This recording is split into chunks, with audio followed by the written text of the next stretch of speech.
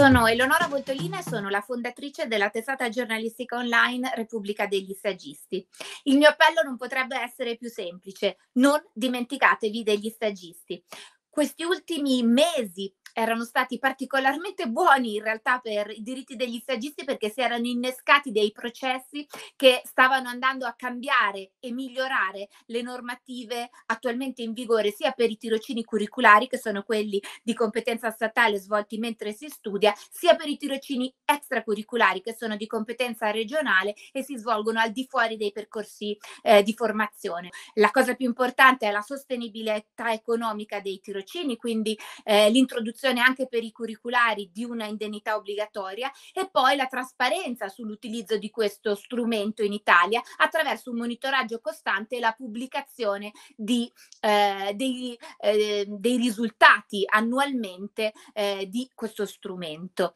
Ehm, noi speriamo davvero che eh, il prossimo Parlamento non dimentichi gli stagisti che ci siano tanti politici che vorranno portare avanti queste istanze.